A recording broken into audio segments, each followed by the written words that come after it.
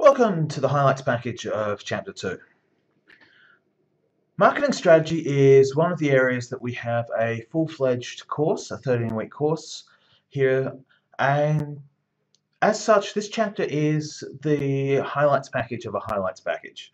It's really skimming the surface of the depth that is available if you want to go on and study marketing strategy. And strategic marketing is one of these areas that has been very heavily researched both academically and from the practitioner's perspective, there are a lot of books on strategy, there's a lot of research on strategy.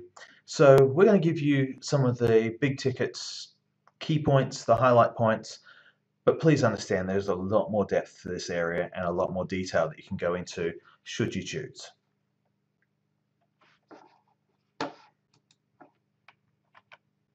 So at this point, we're still thinking marketing from the perspective of the firm.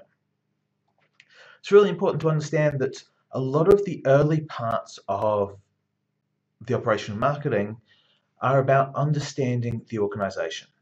What is it that the organization can do, wants to do, and then we move forward towards, well, what is the consumer looking for, and how well do we match up our skills, abilities, and capacity with the desires and needs of the market. So we're still focused on what can we do, and that starts to translate over into how can we understand the market, what knowledge, what skills, what abilities do we have within the organization to understand our consumer, and from there we move into what can we create to meet those needs. But first, the organization needs to know itself. So to get to that point, we have a sequence of planning. At the top level, we've got the business plan. And the business plan's role is to set the direction for the whole of the organization, for the whole of the firm. It's vitally important to understand that within the umbrella of a business plan, you can have multiple marketing plans. So the marketing plan has a role to play as a sub-unit of the business plan and the business planning process. We can also draw on information we learn during business planning and the planning process, and we can build the marketing plan to fit a business plan or business goal. But quite frequently, you'll have one business plan and multiple marketing plans. So what we have is three levels of planning process. We've got the operational plan, the functional plan, and the strategic plan. And to do this, we have the strategic planning process, which is the top level. At the strategic plan, what you're looking at doing is setting the broad picture. Where are we going? What are we going to do? How are we going to get there?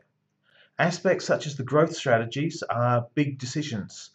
Do we want to create a new product, which is going to be a big investment? Do we want to create a new market, which is going to be an even bigger investment?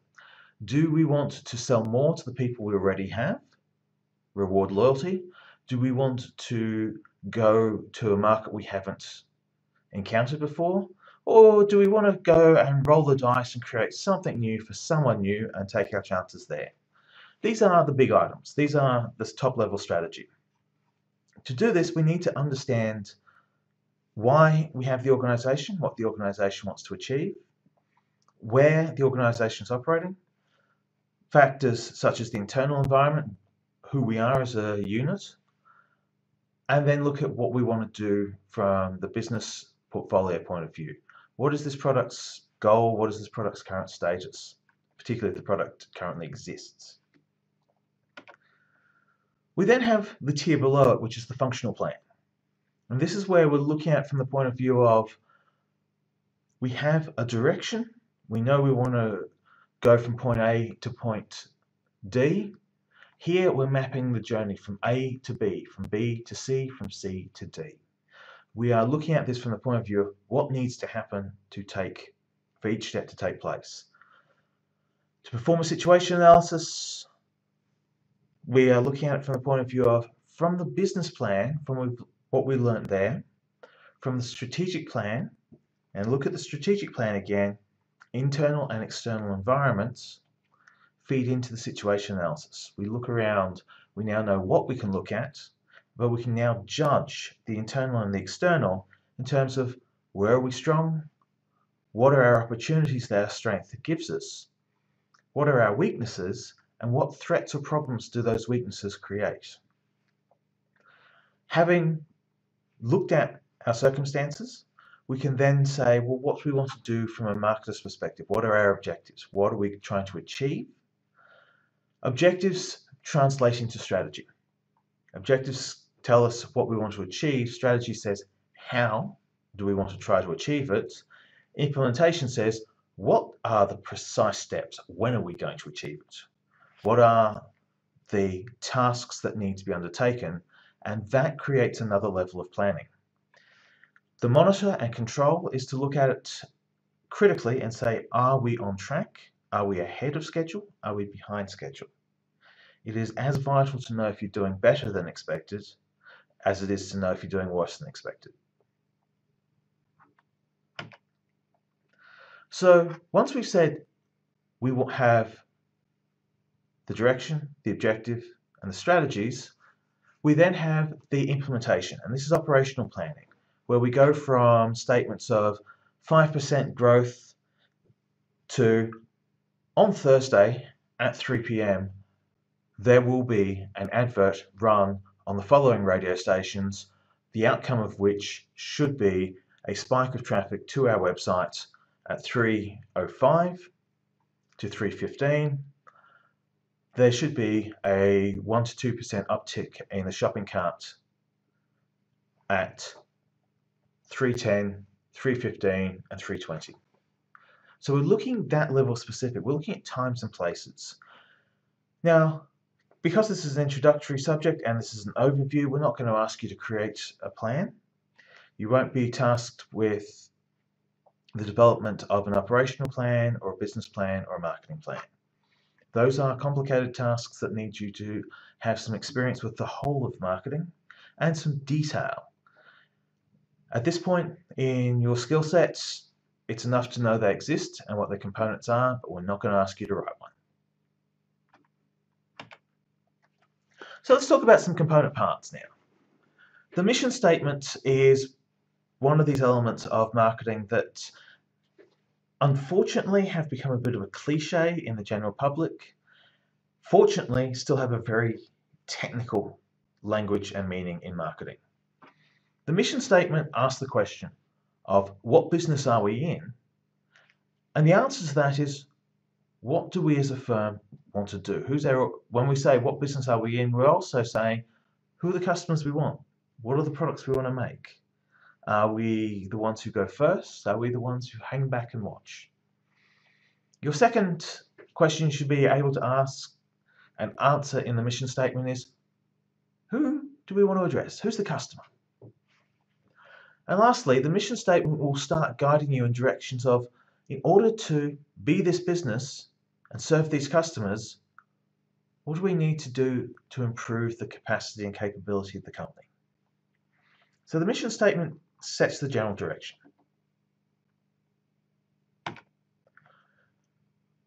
The marketing plan with its situation analysis is a combination of the internal and external environment reviews, an understanding of who your competition is and what they offer, and what customers currently get from that competition, who the customers are, and we start going into a lot more depth and detail when we start talking about market segments shortly. Plus, you're also building information that was captured in the strategic plan, and that information feeds into the analysis of the strengths, weakness, opportunities, and threat, and the environment analysis of politics, environment, so socioeconomic, and technology. It's also important to understand that SWOT and PEST are reports. You undertake an internal and an external analysis to generate the information that you then summarize as a SWOT. You don't start going, what are our strengths, what are our weaknesses, independently of looking at the internal and external environments. So starting with the internal environment, we're looking at this from the point of view of documenting what is. So People is who do we currently have? Culture, what's the organisation like? Is it innovative? Is it conservative? Facilities, what do we have in terms of production capacity and capability? Technologies, particularly this is actually an interesting one at the moment for what tech do we have, what do we need, and what are we developing? But also in the internal environment, you start looking at this from the point of view of, well, given our mission statement, do we have the right people? Do we need to get more people? Do we need to get different types of people? Can we upskill the people we currently have? Is our organisational culture consistent with what our mission statement is? If we say that our mission statement has the words innovation, but our organisational culture is risk averse, then we have a mismatch that becomes a weakness. On the analysis, we say, well, our mission is one thing, our culture is another. That is a problem. That becomes then a problem. Do we resolve it uh, through the mission statement changing or the culture changing? The external environments, again, we see the pest analysis making its uh, opportune return. We're looking for the factors that could impact an organization. Now, the political, economic, socio-cultural, and technological environments are huge. You can spend a lifetime working in this. In fact, if you want to become a futurist, this is a really great area to uh, get some skills and make a bit of money on the side. In politics, what we're looking for is what impact will the government's attitude. So the government comes out swinging saying that the economy is a disaster, everything's ruined, it's all terrible, everything's bad, that's going to hurt consumer confidence. Consumer confidence goes down, discretionary spending goes down. You don't want to be in the luxury goods market. The government comes out saying everything's brilliant, isn't thing isn't the world just great? You probably want to be in the small luxuries field because people will be feeling confident. Similarly, socio-cultural trends you're looking for, what are the opportunities that are present? If we're changing the way that people live. So for a long period in marketing, we saw the empty nest, we saw the two people, one house, single house occupancy. We're now seeing a rise in the return to the multiple share house for longer. We're seeing more rental properties. That means that we've got different types of market demand. If we don't own a house, we don't want to necessarily commit to heavy objects that we're going to customize the house with. So objects that are either rented or short-term, disposable, or perhaps the uh, bookshelf with hinges that you can just pack down back into its single package exit uh, strat strategy. So we're looking again, what is the impact, what does it do? And that's where it matters is the pest analysis is just that, it's an analysis. It then lends itself to being written up as a report. And the report are the SWOT analysis. What are our strengths? That is basically what do we do well which is our internal. Our opportunities are our pest analysis. What is out there in the market that our strengths will suit? Similarly, weaknesses can also be driven by strengths. What do we do well that the market doesn't care about? That's a weakness. We might be the best manufacturer of a redundant technology. You make the best 3G phone on the market? Great everyone's producing 4G networks. You have a weakness. You have a strength that doesn't have a market to match. Threats are similarly. It's where we've got weakness or you've got a market that you don't have a strength. Again, here it's the analysis. It's the what does this mean for our firm and what do we then do with this information? SWOT analysis isn't the end point, it's the starting point.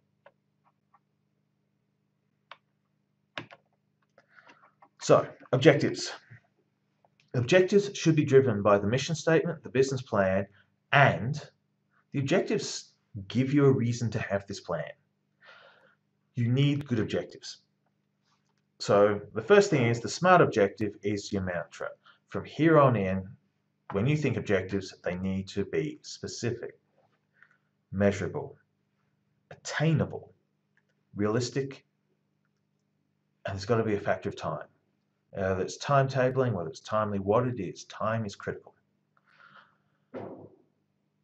Specific means that you can tell whether you have achieved it or not. Measurable is the means by which you turn specific into can I count it? Can I tick a box? Can I know that this has happened? Attainable is does this match against our strengths? Would it be thwarted by our weaknesses? Realistic is can it be done? If you come into the market to say I am going to create a product that will knock Apple off the share market and destroy Microsoft on the way through, well, it's not very specific. Your measurement is, does Apple still exist? Your attainable is, I don't think so. And your realistic is, look, sit down, we need to talk.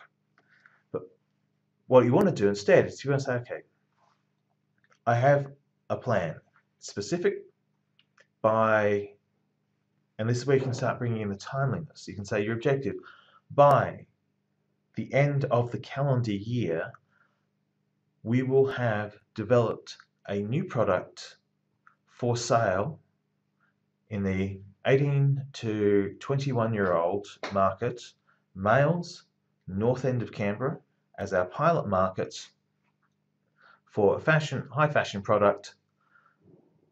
We have the designers, we have the capacity to make the product.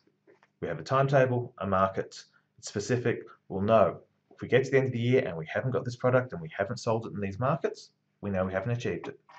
So Smart's really got to have some focus to it. Your objectives have got to be able to be converted to metrics.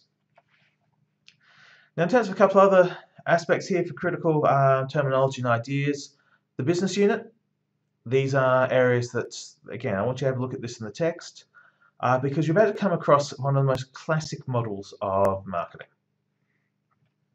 The BCG growth matrix strategy is a remarkable thing for the fact that somebody sat down and said, stars, cows, dogs, question marks.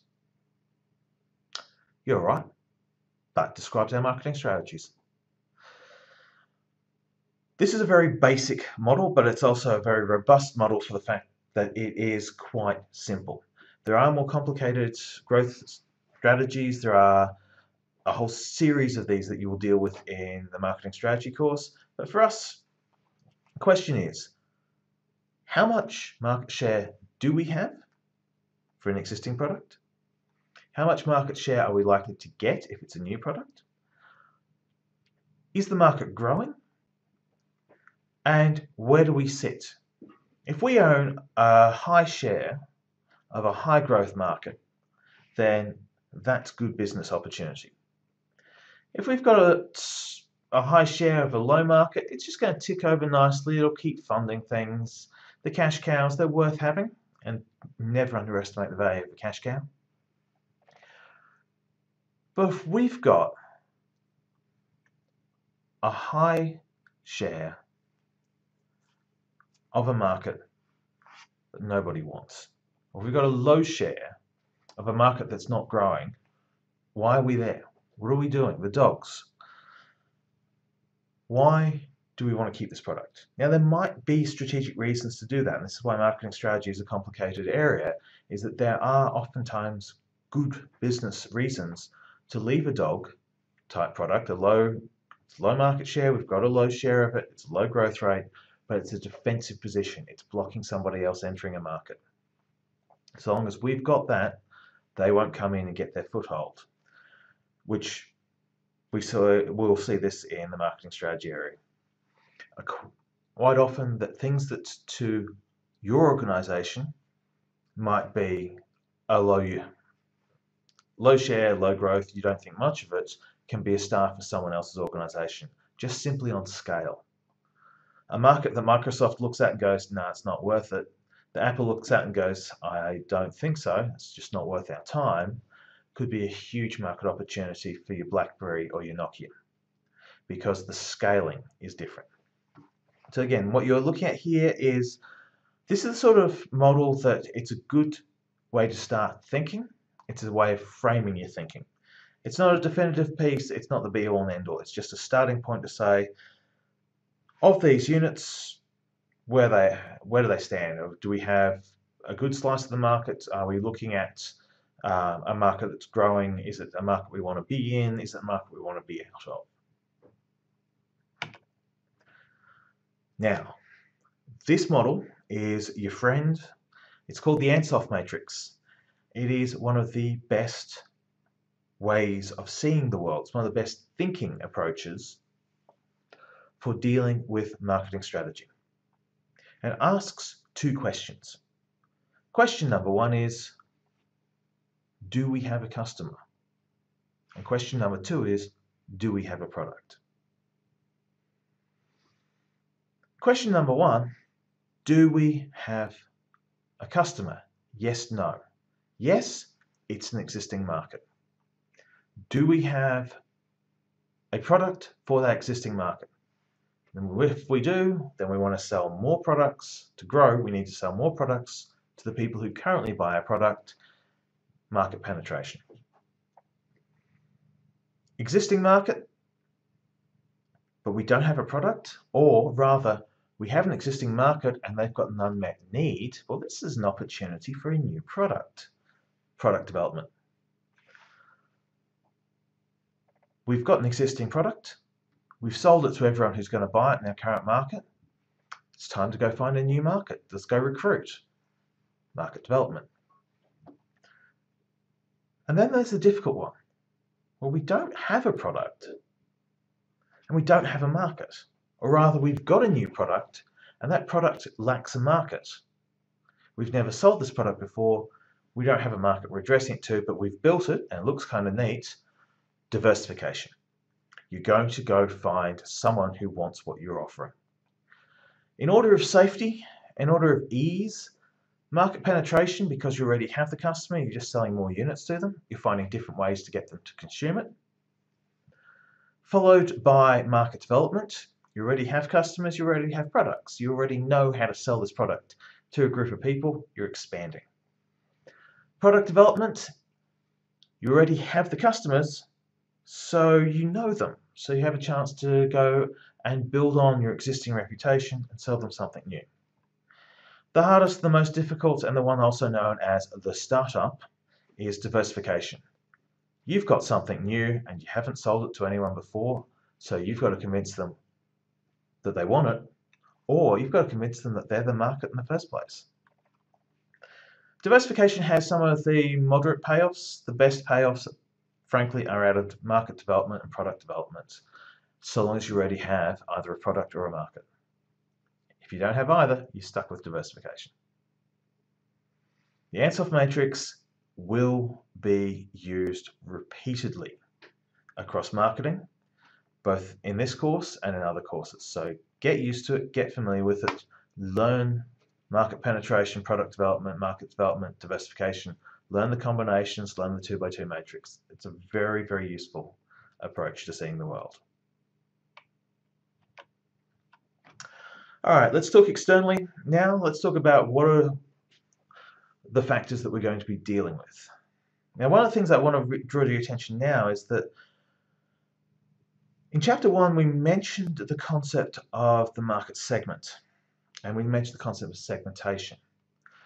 The environments provide means by which you can gain information to build market segments.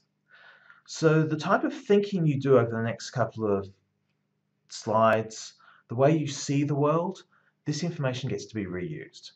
That's one of the great things about marketing and marketing planning is that you keep your notes, you hang on to your notes so you can go back and reuse them and build on them. So let's talk the internal environment first. These are the aspects that you can control in your organization.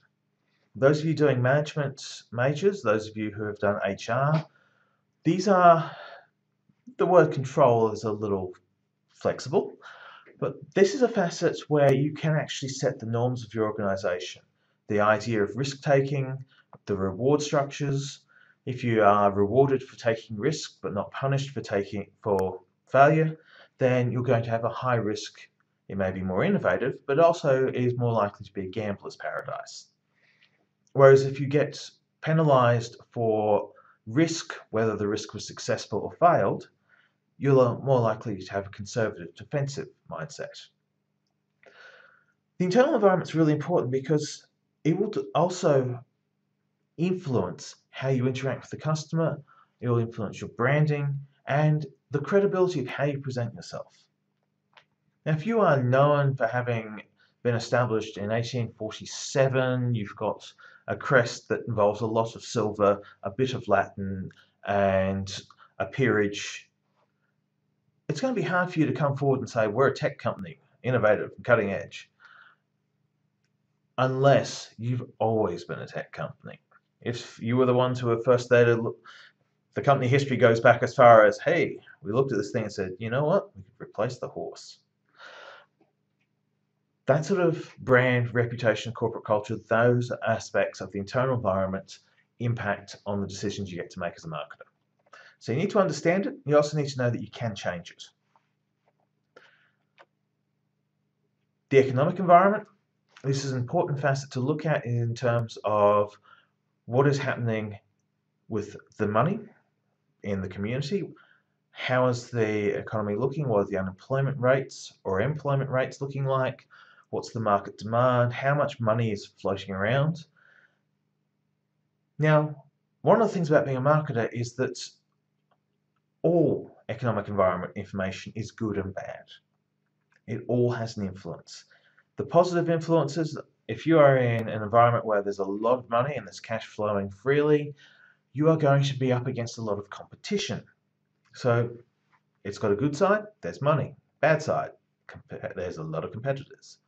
If the market is very tight, the money is not flying, a lot of the competitors will have dropped out, so it's a market opportunity. There'll be an established main player. If you can do better than who the major player in the market is, there's your opportunity. Money's tight, be more valuable, be of better value than the current offer. All of it is something that you can use to make a decision. And this is the key to these environment scans is that you're looking for the capacity to make decisions. Competitive environment, this is one of the areas that we are going to teach you how to deal with competitive intelligence over the course of this semester. The reason why I am asking you to undertake tasks in secondary research, collection of academic research articles, collection of examples, the tutorial exercises and the seminar exercises is to teach you and to train you how to engage with competitive intelligence gathering. So you want to be looking around the world. You want to be finding out what is there to know about the people we're taking on. What can we find out directly from websites, from searching with Google, from looking at complaints forums, from reading Yelp reviews?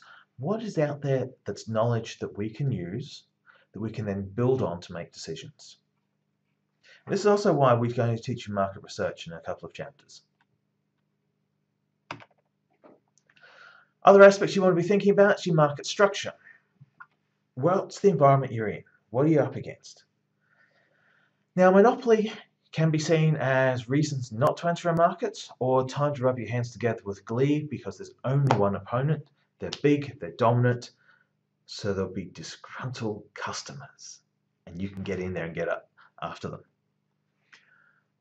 Or you can look at the competition where there's a lot of people, you know, perfect competition. There's a lot of players in this game. Excellent time to come in and consolidate. What can we do to take out the people around us? There are, as with everything else, there's no good or bad market structure to view. There's only the decision that you make based on the market structure that exists. We're very zen like that in marketing sometimes, that there is really a case of the information is balanced. It's the decision that matters. You can look at any given information and also make a decision that you implement is better than a decision that you don't implement. Tech environments, this is one of the things that's kind of interesting is we simultaneously are responsible for creating it and it's one of these things we need to be aware of. From a marketer's perspective, from a marketing lecturer's perspective, the idea of a pre-recorded lecture with a whole series of interactive functions on it Competitive advantage? Yes. I've got a class on a Friday afternoon. This is a competitive advantage, being able to provide you this material early in the week. So it's about the decision you make. Or I could have seen this as a competitive threat. So, well, all this high technology means people don't need to come into my lectures. That can be a competitive advantage or competitive threat. Again, what's there, what's happening, and what can we do with it? Legal environment, there's a lot of stuff here. Again, we're just skimming over the top. Make friends with someone from law school or become that someone from law school people need to befriend in order to understand what's happening out in the marketplace. But basically, there's a series of rules that bind us in terms of cheating. We can't lie in our advertising. We can't mislead our consumers, but nor do we want to. The legal environment is great because it provides us with the absolute hard penalty of don't go past that marker. But really, we want to be playing in the ethical environment where we're doing the right thing because doing the right thing is profitable.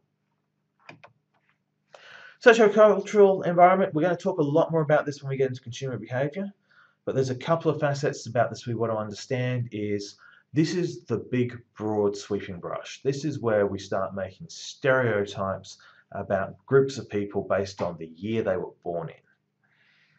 And I'm talking here about Generation Y, Generation Z, Generation X, baby boomers, assuming that everybody born in a 20 year or a 10 year or a 5 year gap are identical.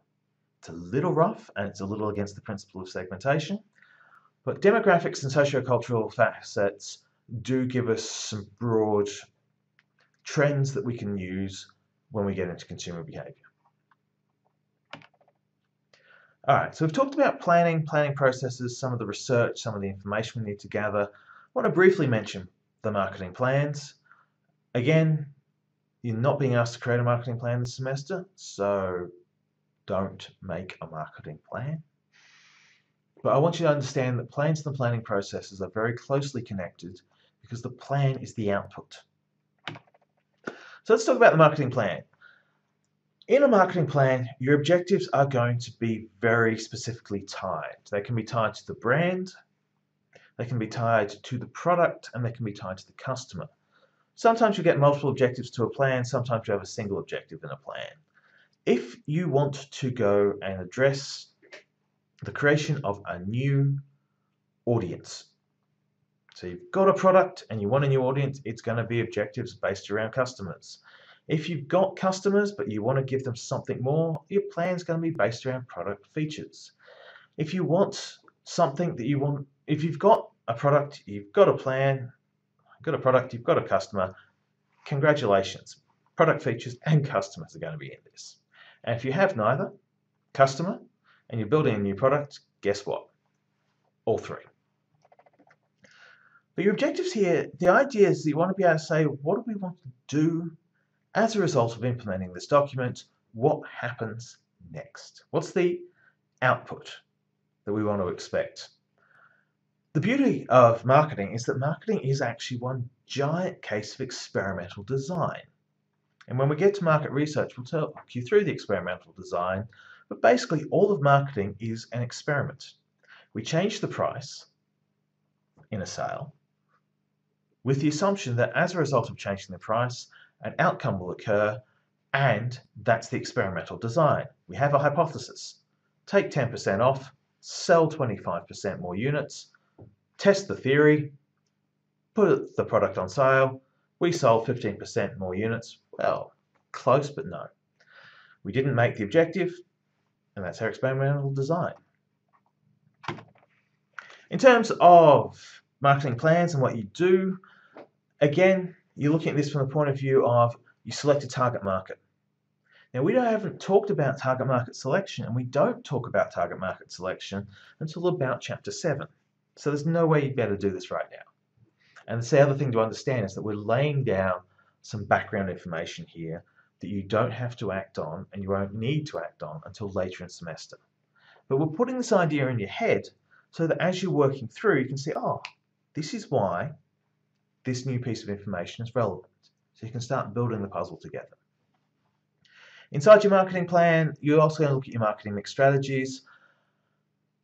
Selecting a target market is critical because once you say who you want, you say, okay, I want people who are 20 to 25 years of age, who work on the south side of Canberra, there is no point setting up your stall in Belconnen when you're trying to get the lunch crowd from Woden. It's down to things as basic as that. Once you pick your market and you know where your market is, you know where to put your outlets. So you know what to do with your distribution. Once you know who it is that you're dealing with and what sort of income they have, you know what sort of price represents good value to that person. If you know what their needs and wants are, then you can design your product. But you can't do the marketing mix successfully until you've decided who you're going to address. So your segment has to drive your mix. You can have a basic product that you can try and tailor and tweak to fit a segment, but you need to know that segment and we will really hammer you about target marketing and segmentation because that's what sets us apart from engineering, from mass production, from everything else. The marketer's gift is the ability to go, this is a group of people I want to address. This is how I'm going to address them. All right, the monitoring and control is the last aspect. This is an important facet that we're going to talk about over the semester you need to be able to measure. And in market research, we'll talk about metrics, and we'll talk about metrics at a few other points. But basically, every plan starts with an objective. The metrics are the objective rewritten as a way of saying, did we achieve it? So if you say your objective is 5% growth, your metrics are going to have your sales figures in it, your current sales figures times 5% minus your actual sales figures at the end to find out whether you made your 5% growth or you didn't make it. And this is the thing, is that marketing is actually scientific in the way that we observe, document, and write down. And remember, the difference between screwing around and science is writing it down. Thank you, Mythbusters the marketing plan, the monitoring and control section is to say what to ensure that you have undertaken what you have set out to do, that you have achieved the objectives you have set out to achieve, but also includes a checklist of the tasks you intended to undertake. So monitoring and control is both output and input. And we'll deal with this more over the course of the semester, but it's one of the tasks that's it's worth taking this on board for your own life. If you set yourself to-do lists and you set yourself a monitoring and control mechanism of I want to achieve, I want to read a chapter a week, set yourself a time, set yourself a place, then set yourself a metric. Did I go to, I want to read a chapter a week, I want to do it in the library, I want to do it in the library at 3 o'clock on a Thursday afternoon, Check your calendar. Did you get to the library? Did you read the chapter? Tick it off. Yes, you did. Congratulations, your metrics have worked. They've tracked it. If you get to the end of the week and you look back and go, okay, none of these, I didn't meet any of these goals, you know you need to make some changes. But if you haven't had your metrics, you haven't had your monitoring and control, you won't know. Alright, this is a reminder that if you have any questions out of the content block here is you can contact me over Twitter. You can go to Formspring to ask me a question if you want to stay anonymous. You can send me an email if you want something in a little more detail. If you need to come and see me, book in on the consultation times. They are made available by electronic booking so that everybody has a fair shot and that I don't double book, triple book or quadruple book for students to come and see me in a one 15 minute period. This is strategy. It is a subject that we are going to see recurring and it is a subject we have a full length course on. So don't worry if it feels a little overwhelming. It is the summary of the summary and the depth and details available for you if you want to study it in a future semester.